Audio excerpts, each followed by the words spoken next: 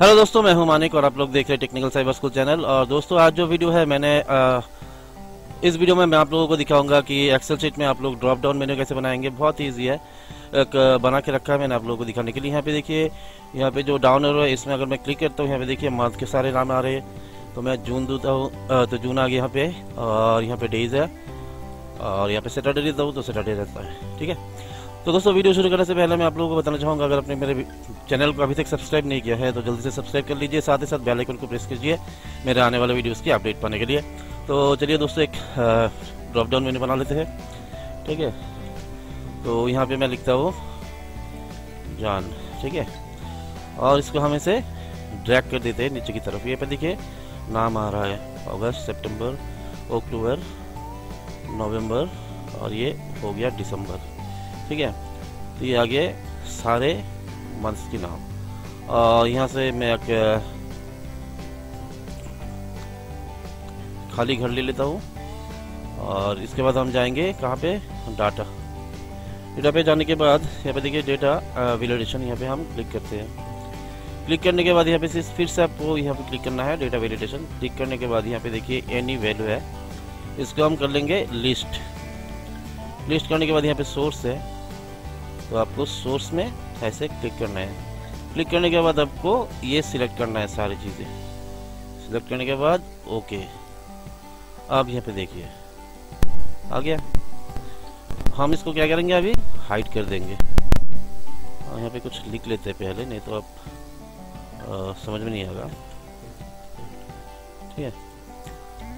तो इसको हम ये जो घर है इसको हम हाइड कर लेते हैं ये वाला।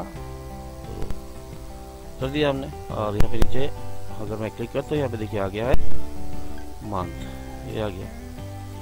तो अगर आप इसको कलर करना चाहते हैं तो ऐसे सिलेक्ट करने के बाद, यहाँ पे देखिए, यहाँ से कलर कर सकते हैं कुछ भी कलर मैं इसको डीप ब्लू कर देता हूँ।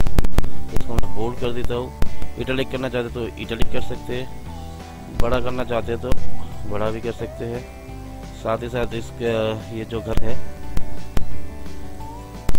इसको भी ये देखिए, बड़ा हो गया अपने आप ऑटोमेटिकली ऐसे इसको भी हम ऐसे यहाँ से फॉर्मेट कर सकते हैं, बड़ा कर सकते हैं, छोटा कर सकते हैं कलर कर सकते हैं फॉन्ट चेंज कर सकते हैं। ठीक है? तो ये अप्रैल में सिलेक्ट करता हूँ तो यहाँ पे देखिए अप्रैल आ गया।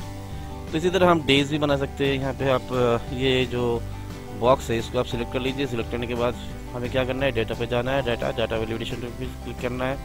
इसके बाद हमें जाना है फिर से डाटा वेरिडेशन ओ पहले लिख लेते हैं तो कुछ लिखा ही नहीं है मैंने यहाँ पे संडे लिख लीजिए। इसके बाद इसको खींच लीजिए, नीचे की तरफ़ ड्रैग कर दीजिए। आ गया सैटरडे मुझे सैटरडे तक चाहिए सैटरडे ठीक है? तो हम पहले ही यहाँ से पे मैं ये बॉक्स ले लेता हूँ, लेने के बाद डेटा इसके बाद डेटा वेलिडेशन इसके बाद फिर से डेटा वेलिडेशन फिर यहाँ से हमको चूज़ करना है लिस्ट लिस्ट के बाद सोर्स सो उसके बाद आपको जाना है यहाँ पे। हमने ये सिलेक्ट कर लिया है, अभी ओके करना है। तो अभी हम देख लेते हैं। ठीक है? लेकिन ये जो मैंने कलर वगैरह डाला है इसमें, कोई कुछ इफ़ेक्ट नहीं पड़ा है। तो हम यहाँ से कर सकते हैं। ठीक है? यहाँ से आप कर सकते हैं। बोल्ड कर दीजिए इटलिक कर दीजिए फॉन्ट चेंज कर दीजिए, फिर साइज़ बढ़ा दीजिए।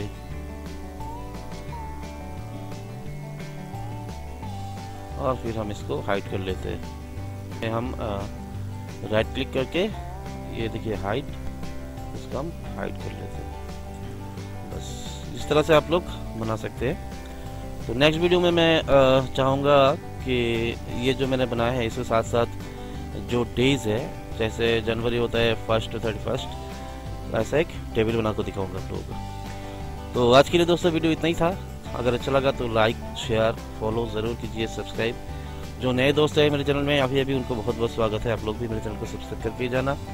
Thank you very much take care happy Sunday